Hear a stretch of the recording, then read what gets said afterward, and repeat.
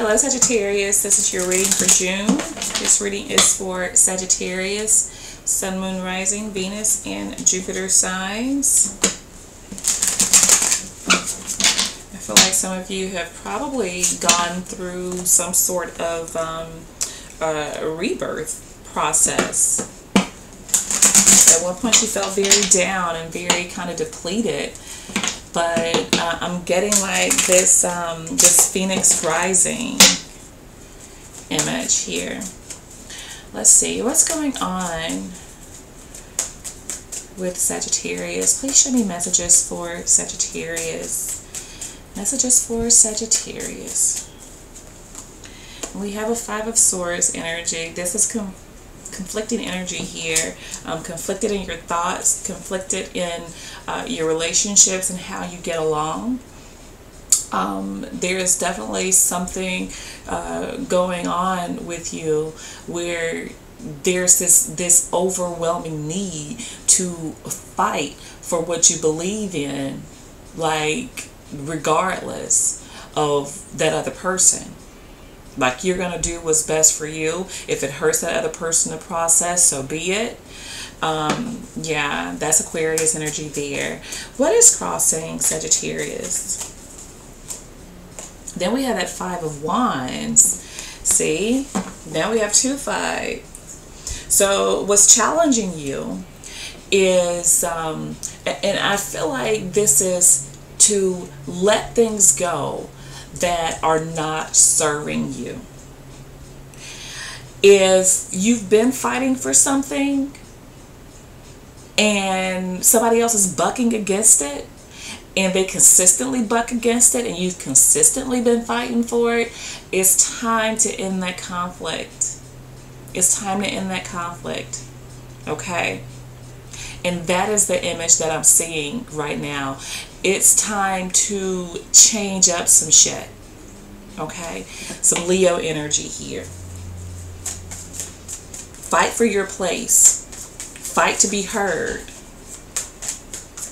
And then once you've done that and nothing has changed, it's time to, for you to make a change, right? What's the underlying issue here with Sagittarius? The Knight of Wands, this is that energy of being in and out, whether it's physically or mentally or whatever. Somebody's not all in. And that that is what the issue is here. Somebody has one foot out the door. Somebody uh, takes a vacation when they should be here and present and working on something, whether that's you or the other person. What was going on in the recent past for Sagittarius. Nine of Swords, being all in your head, um, feeling very worried and concerned. With the Nine of Swords, things are way more heightened. Things are um, not clear, okay? And it gives you an illusion that sometimes the things that you're worrying about are so horrible or things are a certain way when they're really not. So I feel like your thoughts have been kind of muddled and you're fighting to clear through some of that fogginess, I feel. You're working on yourself.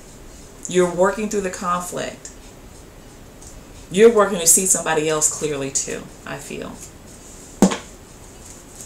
Gemini energy, which is your opposite sign. crowning thoughts for Sagittarius. Crowning thoughts for Sagittarius. Two of Cups. You're in love with somebody. Regardless of how this person has acted, regardless how they have treated you, you are in love with somebody you feel like this is your person. This is Cancer energy here.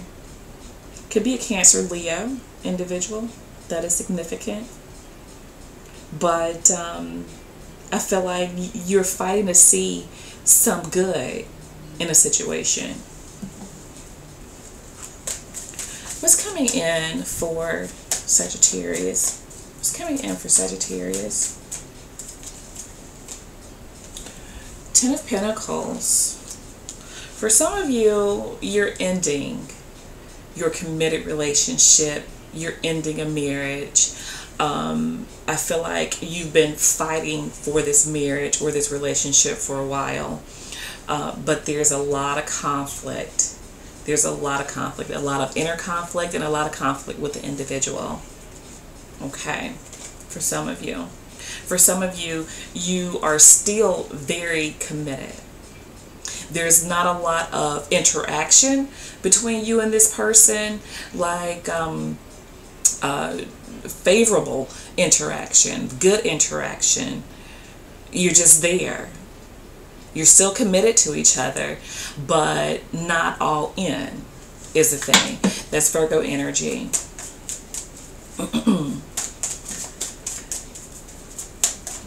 How is Sagittarius viewing their situation? How is Sagittarius viewing their situation? King of Wands. You feel like you are in control of this. You're the mature one. You're the one that holds shit together. Somebody else is immature. And I feel like you guys are angry. You're angry. And I think you try to stop this person from getting in their own way. You try to stop them from sabotaging, sabotaging the relationship.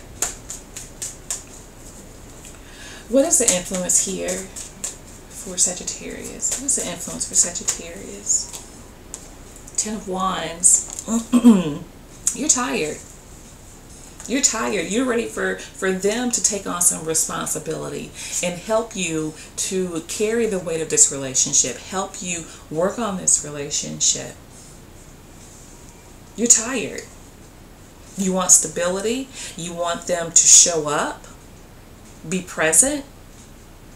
Because I feel like the weight of the world on your shoulders. I feel you guys about to give up and do some different shit. Honestly. It may take a while, but I definitely see some of you ending a relationship. Some of these, some of you, again, are staying in it and really trying to work on things, but you need to see some sort of effort coming from this other person for you to stay in it because I feel like the shit is about to hit the fan.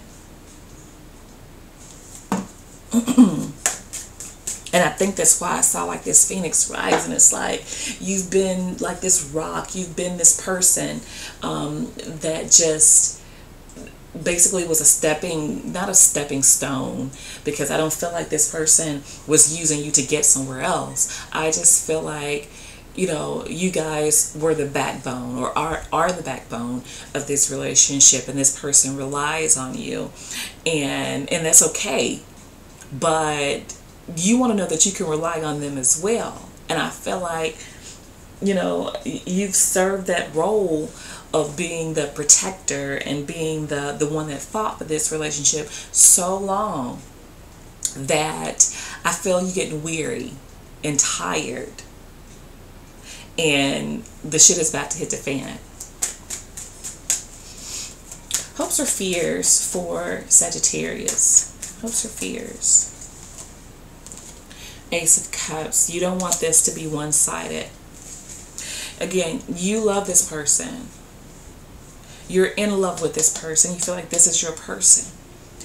But your fear is that it's one-sided. That you're the only one that's in love. That they're not. Hmm. What is the outcome here for Sagittarius? Page of Wands here. Now, you see you showed up as a king down here. In control and feeling like you're the mature one.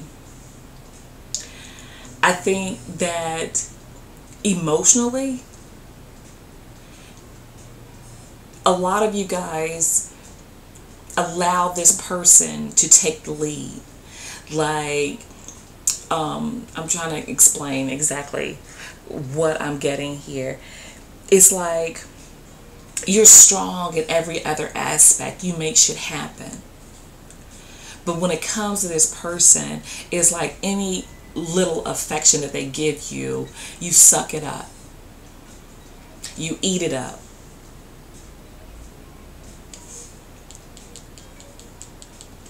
That's where you are as a page of wands. Page of wands is, is not a king. A page of wands um, in this reading basically takes what they are given. And I think you're tired of that. You're tired of that. It's like, do you love me? Do you want me?